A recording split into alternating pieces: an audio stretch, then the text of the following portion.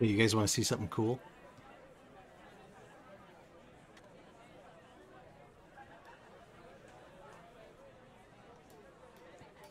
Okay, you guys want to see something cool? We're uh, got this street scene, and our adventurer just left the, uh, the tavern, most likely. And we're gonna get in our cart, and we zoom out. We see we have a pretty large scene here. It's actually pretty huge. And now it's a scrolling scene. We've got some sounds of our horse clip clopping. And if you notice what's happening in this scene, you've got the ground that's kind of moving at its speed. And then you've got the trees and overhead. So it's got this nice overhead effect. We're going underneath these banners and things. Those are going at a different speed.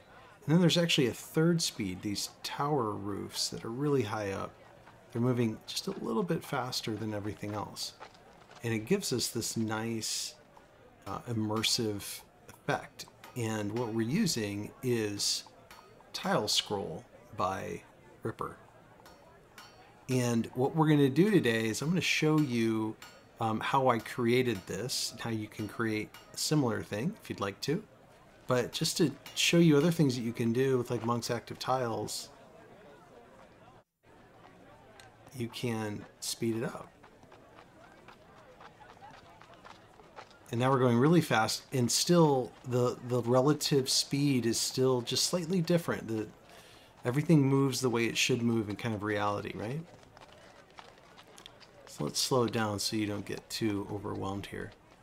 Now, what if that street was a little bit dirtier?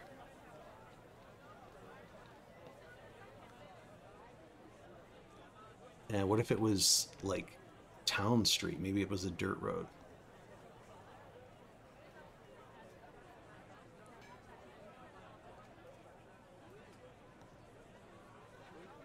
What if there were things on the side of the road, like wagons and things like that, right? Or maybe not.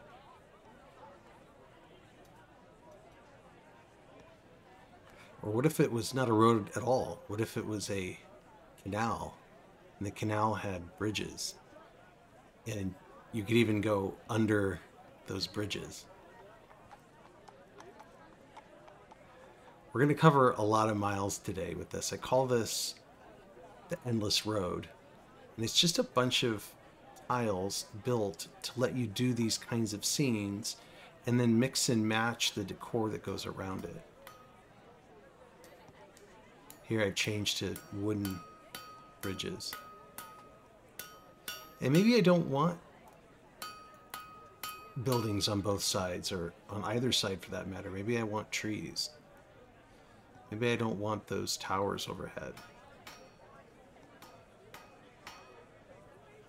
Maybe they're dead trees or frozen. Or maybe it's a frozen, uh, like a winter scene.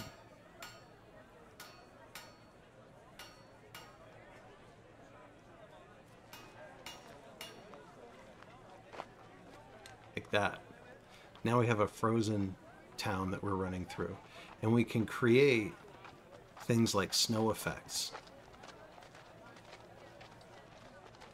And we can create additional sounds like winter, wintry sounds.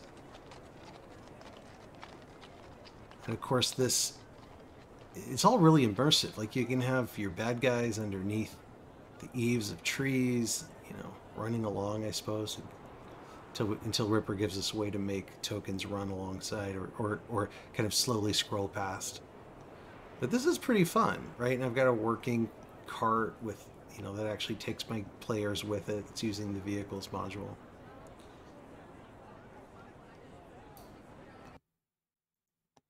And different types of street settings. But we can even go and get rid of these houses altogether. We could do like Frozen, right? Just kind of cycling through these. You get that same immersive effect.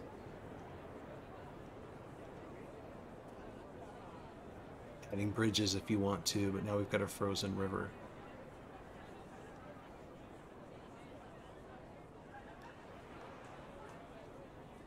Cool, right? But there's more than that.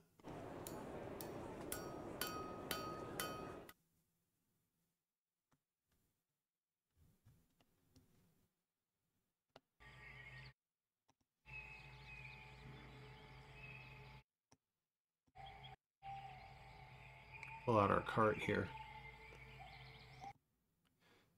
Just lots of different forest scenes.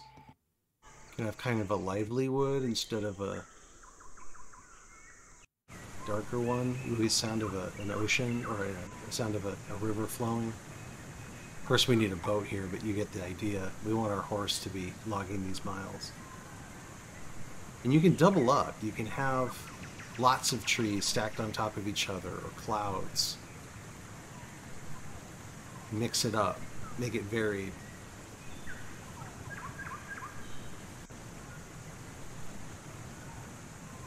This one just cycles through kind of more rural type paths.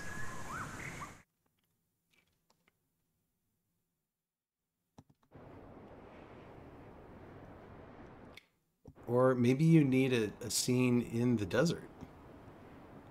By the way, to get that horse going again, you just hit play again. It activates all of the sounds and the horse running. This is a horse by Jinker, by the way. These clouds are all just the same effects, just turned off. Or maybe, you know, you want to have like, um, you know, trees to be around here. You can even darken these, these things. Get rid of the, the weather and everything all together and just have it running, running on a dusty road.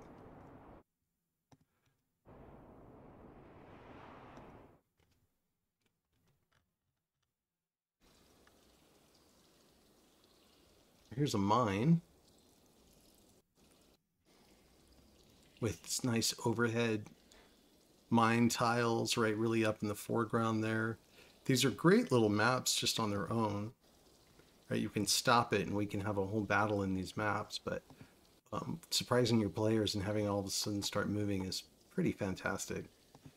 It doesn't have to be a mine, it can be a flowing lava river, right? and maybe there's some chains and, and maybe this is inside of a forge. Maybe it's a cave with water flowing through it. There's just a regular cave, right?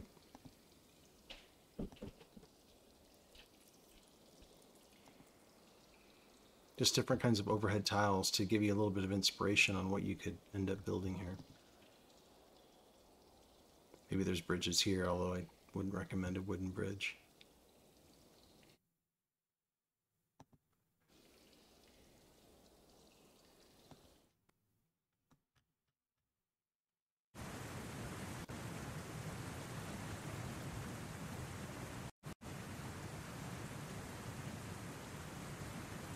Here we've got another sewer. This one uses sewer, sewer overhead tiles, but this can also turn into other things. By the way, this sewer can be changed to different colors. I can have it red or blue or really any color of the rainbow that I want. I'll show you how I do that.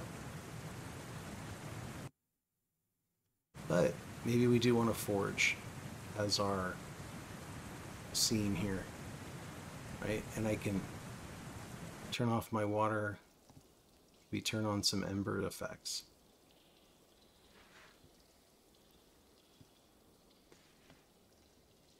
Maybe I don't want the bridges. You just take them out. Cool, right? It's just a regular dungeon. Maybe we want some of these dungeon spikes overhead instead.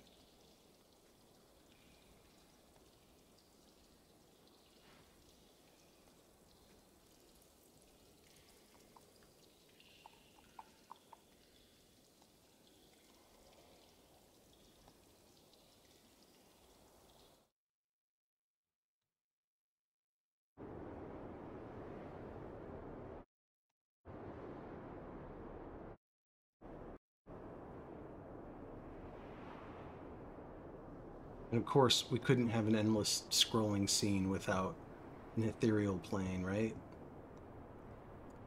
Like, how cool is this? I'm going to show you how I did this today and and then I'm going to show you even some circular um, how I use tile scroll, how you can use it. This will be a really fast tutorial.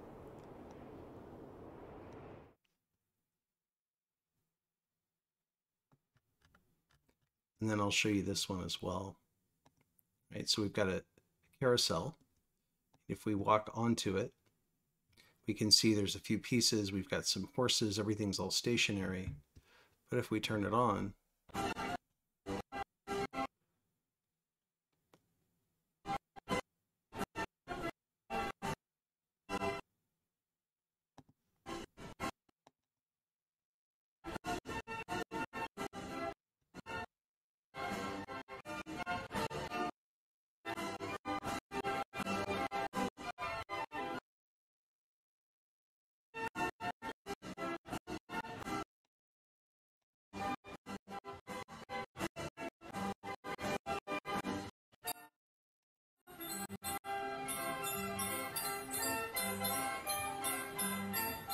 turn it on, we can see we can actually rotate, and our friends are rotating, and the little uh, horses are moving up and down.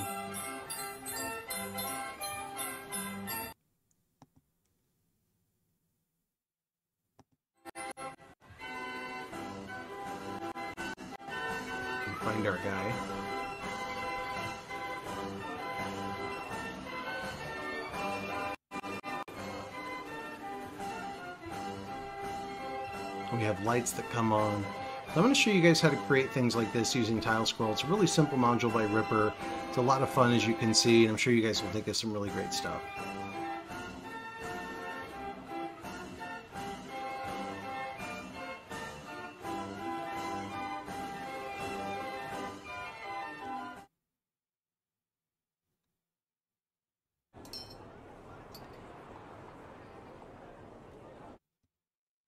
Okay, so back to our main scene. The stuff that you have to know, we'll turn our sound off here. So the stuff you have to know is there's the construction of these is simple. It's just a it's a bunch of tiles that are all stacked on top of each other. And they're all the same exact dimensions. All the images that you see are embedded in the tiles so that the images rotate with everything else.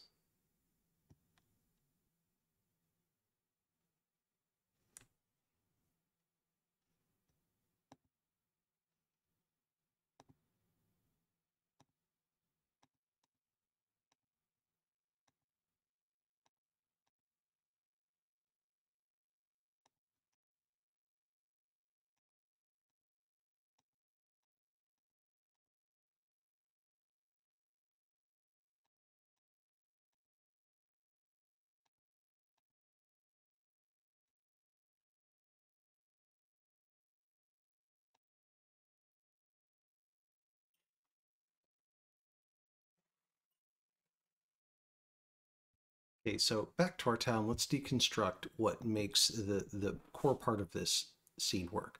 First of all, you have just a bunch of tiles. They're all the same dimensions. And even though they have objects on them, it's all just a single tile, right? That's way that way it all rotates together, it scrolls together at the same speed.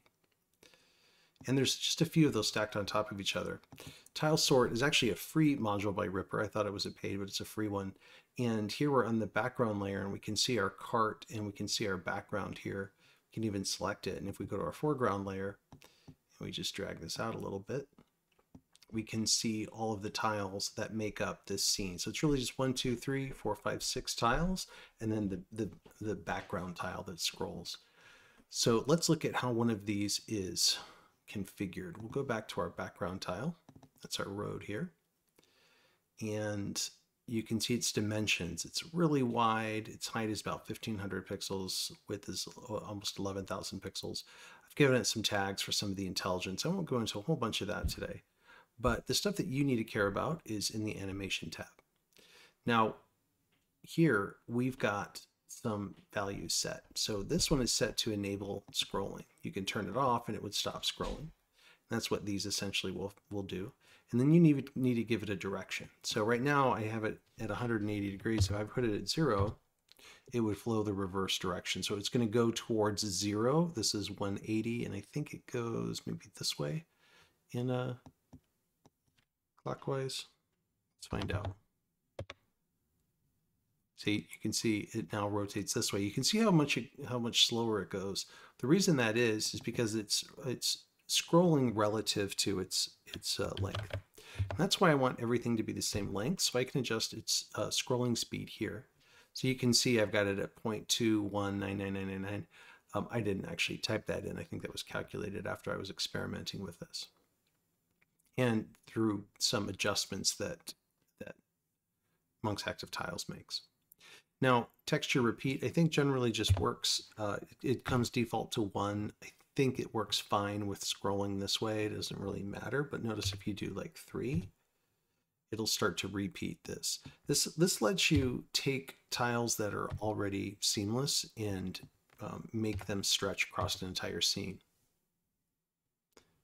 Uh, these rotation and offsets don't matter unless we enable rotation, so I'll show you those in just a second.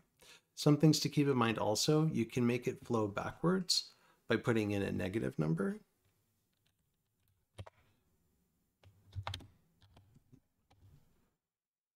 Like that.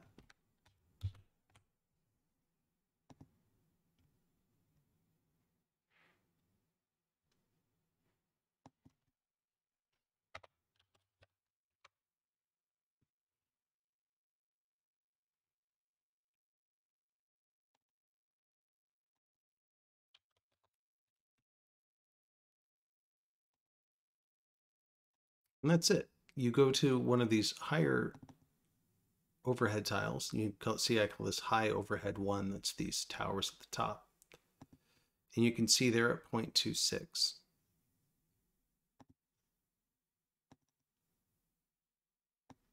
versus 0.21. You can see it's not a big difference at all. And it gives it that nice subtle effect.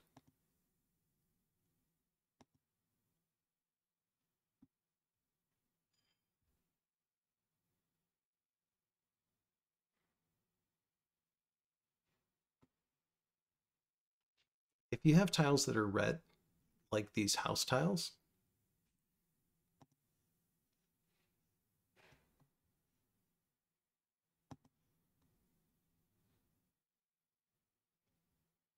and that's what this one is, town. If you select it, and you use the token magic effects color picker,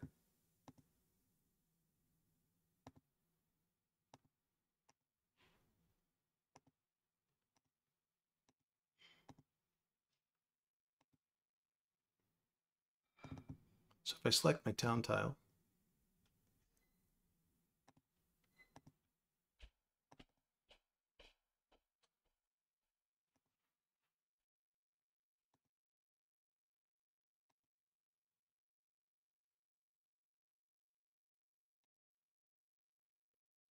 So if I select my town tile, do my color picker,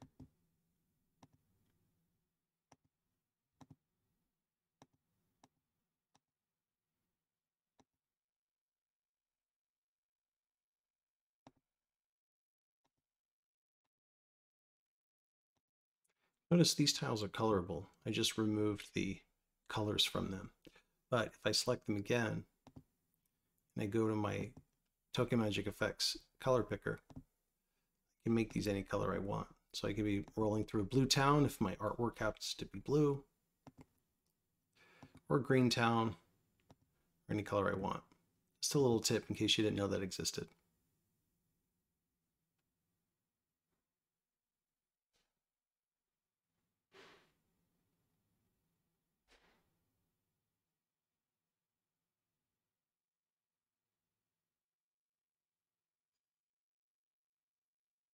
If you're interested in how I did some of these speed controls, I'll open these up for you. First of all, to stop everything, when a GM clicks it, the control speed is set. Uh, so the, the alter just changes. Um, so, So uh, this just changes the color of the tile here so that I know it's in an off state. Um, the real magic here is setting the scrolling flag. So you can see flags.tile-scroll.enable and then upper S scroll. I'll put these in the comments as well. And if you set that to false, and of course I have it set to anything that has a scrolling tag to it, I'm using the tagger module, right? It will find that and it will set that flag to false. It'll also uh, set some other things like the horse. It'll it'll deactivate the animation of the horse, right? So that my horse, when he's running, looks like that. And when it stops, it uh, disables the horse sound around him, and then it disables the animation of the horse as well.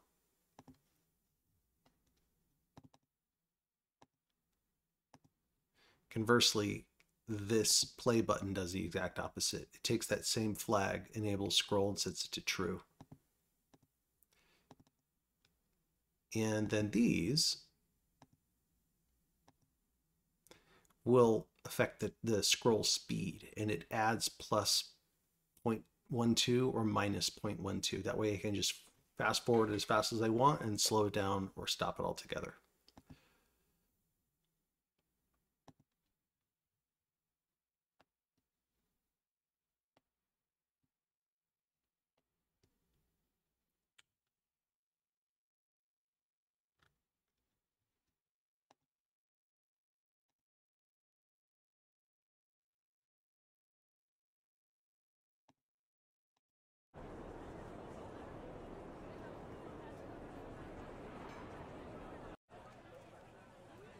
So all of these maps, incidentally, are available on my Patreon as of today. It's November 3rd, 2022. So if you want to get these, you can pick them up on the Patreon now.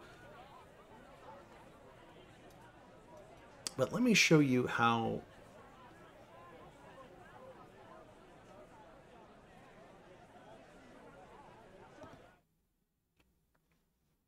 Now let's look at this merry-go-round.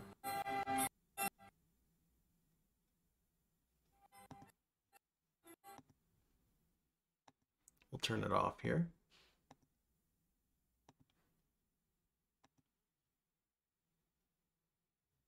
Okay, now let's look at this merry-go-round. So the merry-go-round is basically three pieces. It's the top, the horses, they're all one tile, and then it's the bottom, okay? They all have different settings, but all of three of those tiles have speed set. With rotation, you have to set the rotation or turn it off. If you set it, you can set the speed to negative 4, which will go clockwise, or positive 4, for example, which go the other way. And you can really set these as fast as you want. Hopefully I don't get you guys sick. Texture repeat is something that you're going to want to set to 0 a lot of the time. Notice if I set it to 1, you're seeing the textures repeat and it'll actually default to one. So you're going to need to turn that off if you don't want that to happen.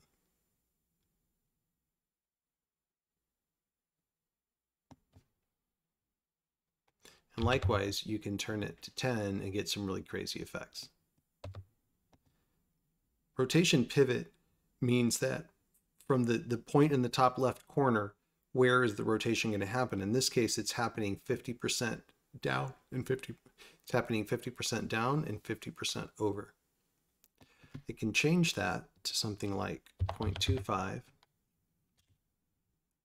and it will skew where this uh, rotates from, right? If I said that's 0.25. So now it's it's rotating around this point here, which is about 25% down and over.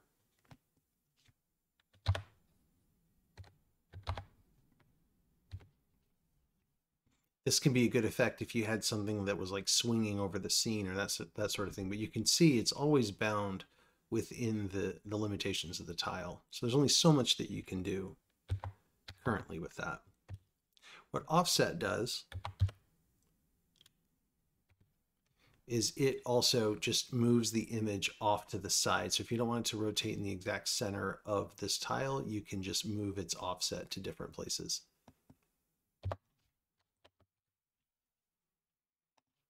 If you're curious how the rest of this stuff works, I'll open up these configs really quick. Just let you take a look at it. In this case, you're going to be manipulating the enable rotate flag. So I'll just stop and let you screenshot this. And then the other one would be disabling that flag. I do have a couple of interesting things going on here. There's uh, these horses, for example, they have a special token magic effects filter that's being applied to them. I call it carousel horses.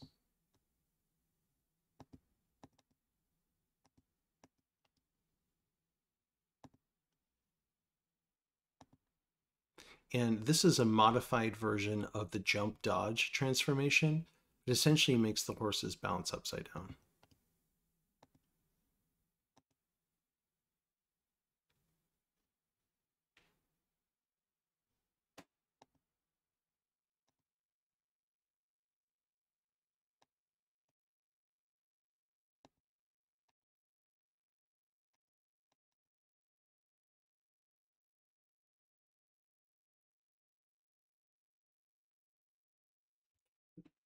They make them jump upside down or they make them jump up and down but you can't just execute it. It's got to be called uh, based on an argument specifically the tag for these horses right?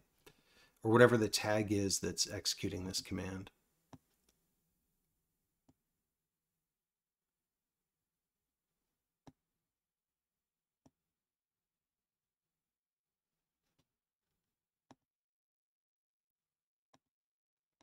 And the last thing I'll point out is there's actually an, uh, a drawing around here. You can see it's faint line, it's invisible to the players.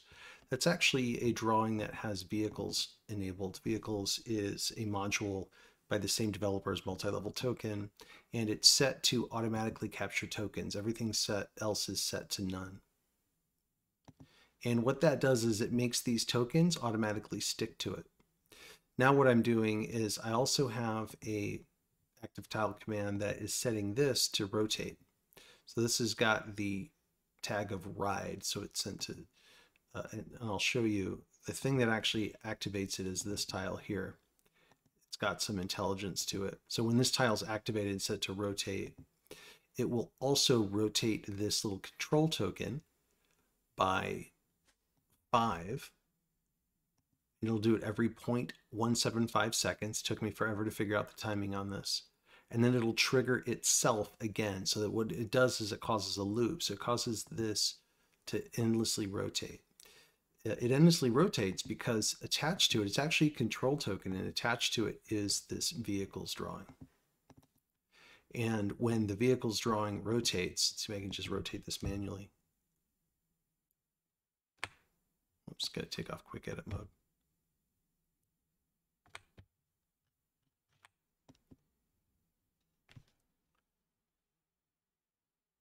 So when it rotates, see now my horses are all bouncing up and down.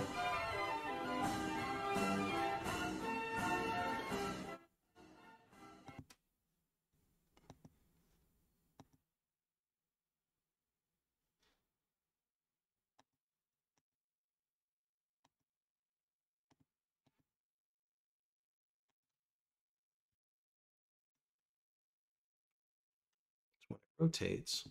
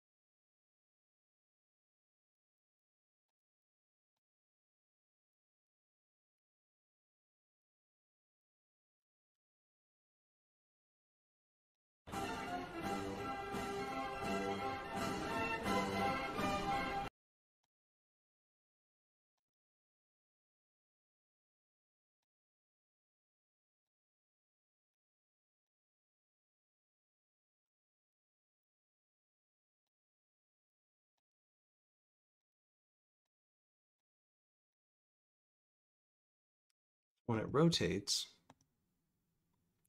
it takes all of the players with it and it rotates them at the same speed. Now, if you grab a player and you start navigating around, you can do it. It's like walking around on an actual merry-go-round. It's it's hard to get off. It's kind of actually fun. I could imagine some pretty crazy uh, battles going on here. Um, I don't know how you would execute it, but from just from a, impressing your player's perspective, I think this sounds pretty fun to me.